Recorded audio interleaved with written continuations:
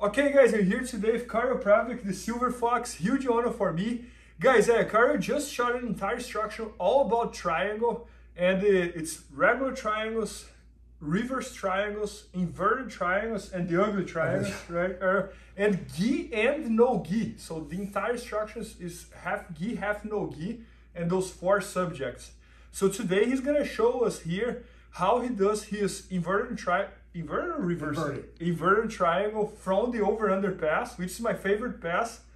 And uh, I remember when I used to do the over under, uh, inverted triangle was something that I was always worried about it because it, it's a threat, it's there. Yeah. So I'm super excited to learn from you. My pleasure. So I use this a lot, especially if, if I have a guy that's a good guard passer and I start to get tired. So as I'm getting tired, I start to focus on basically getting on my side. As I'm getting on my side, what I'm looking to do is, so my right leg still keeps Bernardo somewhat away and I'm very conscious of keeping my right kneecap pointed at the wall, not at the ceiling, because I know, especially Bernardo, there's a threat of a knee bar. As he's coming through, I'm gonna bring the outside leg on top of his head and shift my butt out. What I do, I sit up, grab my shin. This is one of the central tenements of what I've taught on this DVD.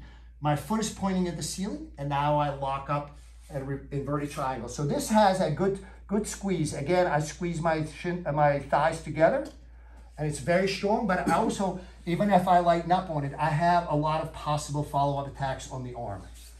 No, that's awesome. And I love it how you also attack the arm in case if the person doesn't tap in triangle, right?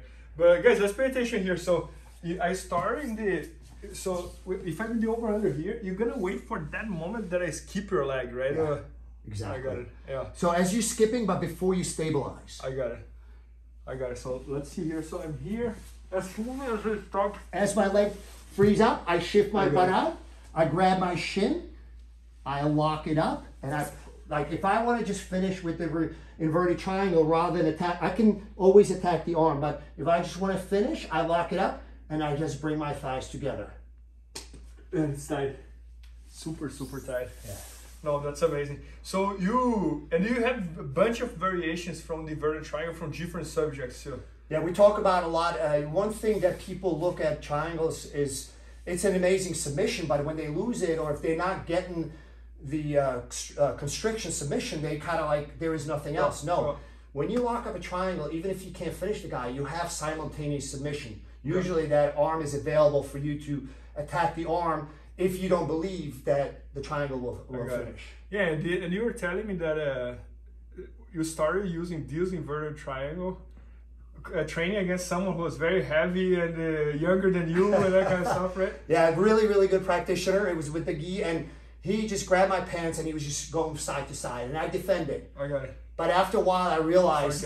I said I'm, I'm gonna I'm getting tired, and I know this guy's gonna get through my guard. So I want to set it up in a way that at the right moment when he's passing my guard, I start to go perpendicular to him. I got it. So as he's passing my leg, I'm already uh, you know sliding on my upper body underneath him and my lower body away. Got so he sort of gets stretched out.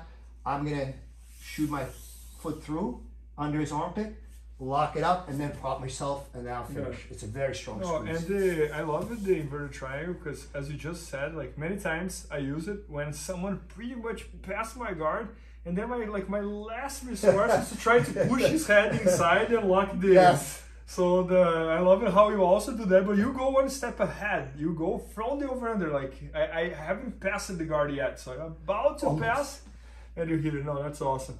Yeah, so guys, uh, Karel just shot this entire instructional all about triangle, gi and no gi. He shared these four subjects, which I think like covers entirely triangle, right? Like Yes. triangle, regular triangle, inverted triangle, reverse triangle, and Ugly the triangle. ugly triangles. And uh, so uh, I really like it, and uh, it's gonna be at bjjfanatics.com soon. So make sure you check that out, and maybe by the time you watch, it's already there. So thanks so Thank much. Thank you. Thank you. Os. Please help me out to grow my YouTube channel. Just click subscribe. And to watch more videos, just click under see more videos. I hope you enjoyed. BJJFanatics.com. Use the promo code YouTubeFaria to get 10% off any instructional video. Improve your jiu-jitsu faster.